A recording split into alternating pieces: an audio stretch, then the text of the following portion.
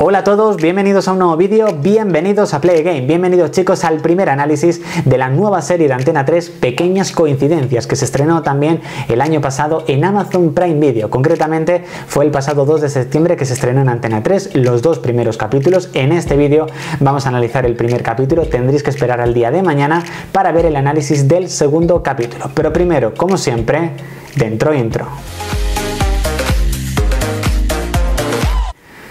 Bueno chicos, pues como os hemos dicho, bienvenidos al primer análisis de esta nueva serie que ha estrenado Antena 3, la verdad con muy buena audiencia, liderando en este caso en su estreno las dos emisiones, la emisión del capítulo 1 y la emisión del capítulo 2, y aunque es una serie que se estrenó hace ya varios meses en Amazon Prime Video, sí que es verdad que ha sido ahora que se va a estrenar en Antena 3 cuando me ha entrado la curiosidad por ver la serie, ya he visto el primer capítulo, mm, seguramente hoy empezaré a ver el segundo para traeros el análisis concretamente, eh, bueno cuando estoy grabando este vídeo, para traeros el análisis del jueves y la verdad es una serie que me ha gustado. Luego os daré mi opinión, por supuesto, analizaremos las tramas y luego, bueno, primero iremos, por supuesto, con eh, el resumen del capítulo. Pues acaso tenéis dudas de verla, básicamente os digo, es una comedia romántica que la verdad es bastante entretenida, los capítulos no se te hacen muy largos porque duran 50 minutos, así que yo al menos os recomiendo que veáis el primer capítulo porque si os gusta bien y si no, pues lo que digo, otra cosa, mariposa. Así que bueno, vamos primero con el resumen, chicos.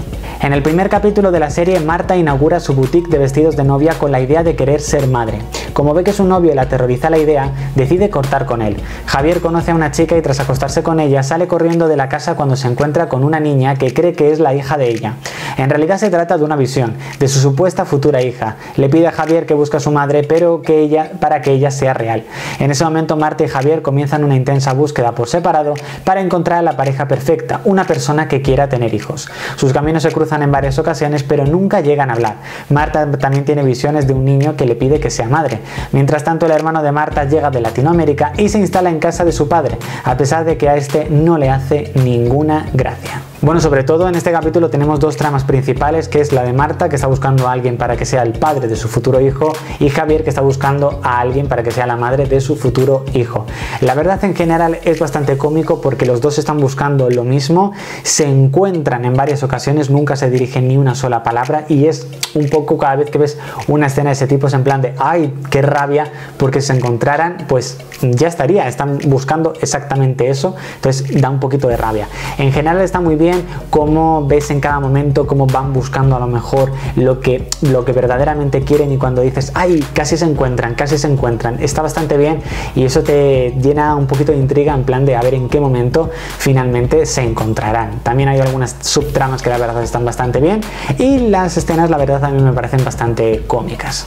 Mi opinión personal sobre este primer capítulo de pequeñas coincidencias, os digo, me ha gustado, me parece entretenido, no es una comedia romántica la verdad bastante buena, pero no muy parecida a otras comedias románticas en plan series o películas, por lo que tiene su intriga, tiene escenas bastante cómicas y momentos también bastante buenos. Entonces en general tengo que decir que el capítulo me ha gustado, me parece la verdad eh, bastante bueno, así más o menos si tuviese que darle una nota, que juraría que esta semana no le di nota al análisis de Aquí no hay quien viva, pero bueno, disculpadme por ello, vamos a darle nota.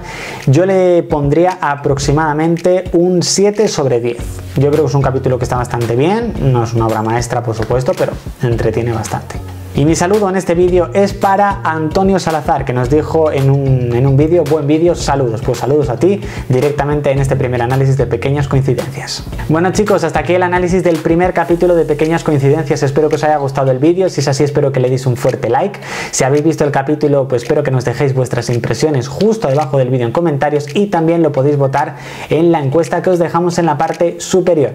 Así que ya sabéis chicos, si os ha gustado este vídeo, dale al like. Si no estás suscrito, suscribiros.